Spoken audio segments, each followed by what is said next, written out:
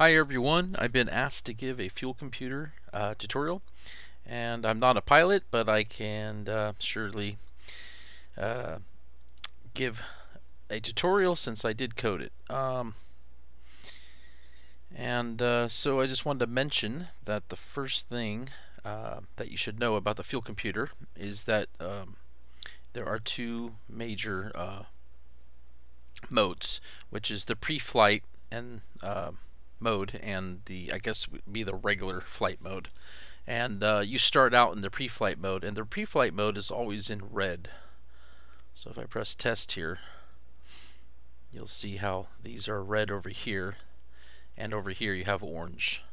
And once you come out of pre-flight mode, you'll go into this uh, uh, six uh, different labels here, and then you can cycle through the functions here in the in for the non pre-flight mode. And then here you have three major modes, which is fill up, gallon remaining, and add gallons. And that's 64 gallons in each tank. Okay.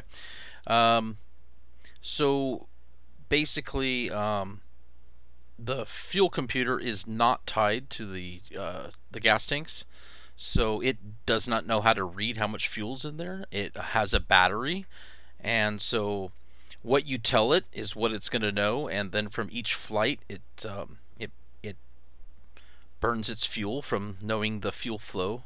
Uh, and um, how much gallons per hour it burns from the fuel flow information. Um, so each time you fly, you may have to uh, make some adjustments, and uh, you and I will show you how to do that here in a second.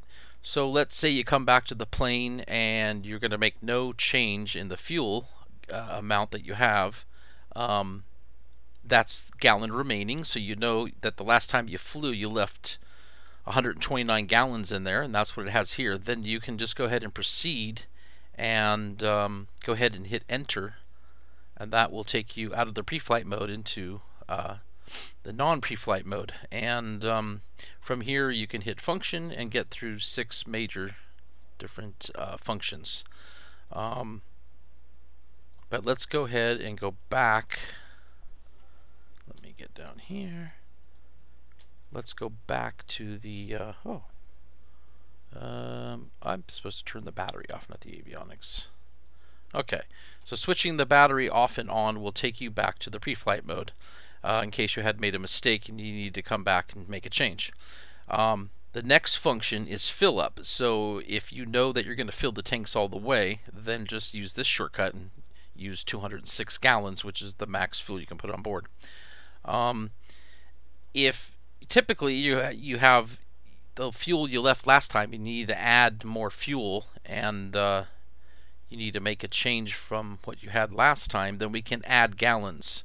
So right now we know that we have 129 and let's say we ordered some fuel and we're gonna have a total of 150 gallons. So um, I guess that would approximately be about 75 in each tank. Um, so then we would come down to add gallons uh, hit set and we don't want a 1 there that'd be 100 gallons. So we'll, we'll skip this one by putting it back to zero. Hit function, that takes you to the second one. So let's see, so we had uh, 129, 130, 140, 150, so we need what? Uh, uh, 21 gallons, so let's put a 2, a 1, hit function, it says verify, hit enter to verify, and now we have 150. And we're out of pre-flight mode. So now we're in the regular mode, ready to go fly. Um, you'll here you're going to get six functions: a gallon remaining, uh, pounds remaining, time remaining. Time changes also by um, by how much fuel flow is flowing through the system. Um, gallons used starts building up so the moment that you had gotten to this mode uh, pounds used as well and then timer starts um, timer, I think you can hit, yep, you can just hit reset any time and restart the timer.